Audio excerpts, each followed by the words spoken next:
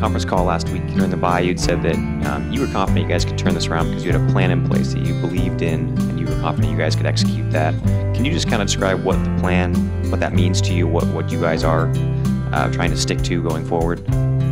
Well, yeah, I think in a lot of ways it's it's what we've been built upon for a long, long time, and continuing to to reinforce, to stress, to emphasize all the things that go into that, and whether that's um, older guys not necessarily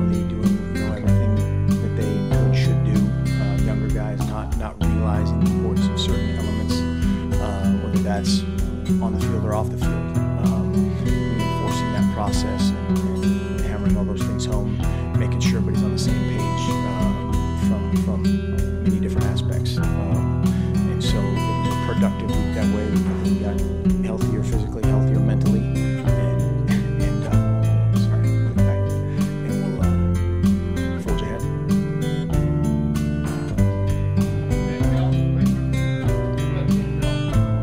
during a stretch like this, how important is it to sort of have those individual guys in the locker room that are really your go-to leaders?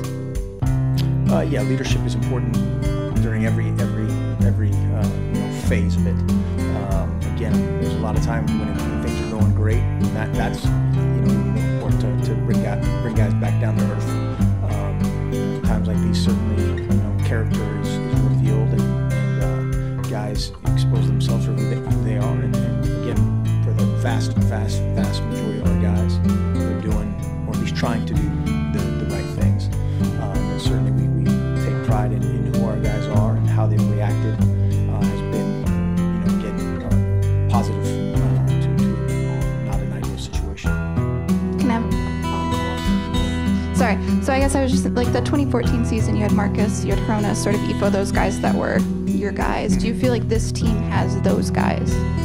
Well, yes, uh, you know that was one thing going into the season. We knew that there was a little bit of a, a void in, in, some of the leadership roles, um, and unfortunately, some of those guys that have, have you know, been those guys, whether it's Devon Allen, Dwayne Stanford, Johnny Ragin, some of those guys aren't in there, uh, and so that that's where we as coaches uh, and, and, some other voices has to have to step up and, and, and fill those fill those